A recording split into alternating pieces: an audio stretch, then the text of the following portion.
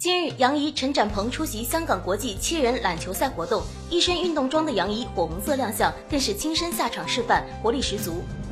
杨怡与罗仲谦的绯闻因剧集的热播而越传越烈，有周刊指罗仲谦向杨怡送钻戒及鲜花，杨怡近日表示没有收过，澄清千载买花只是送给妈妈过生日，而且自己有工作在身，也没有前去道贺。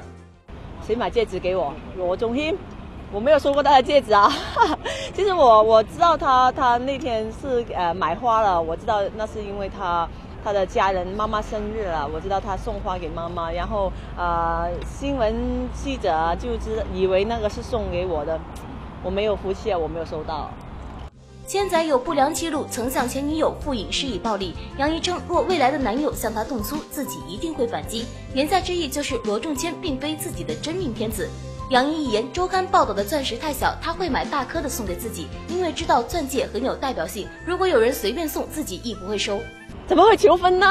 我哪里有戒指呢？手上我没有啊，所以我觉得大家不要乱想。呃，而且我觉得戒指不是随便随便去送给人的。女孩子，我觉得还是自己呃赚钱呢，就买送给自己。然后有心中有男朋友或者要结婚的时候，才才应该去买那个东西。所以平时就。不要拿戒指随随便去送人，我觉得。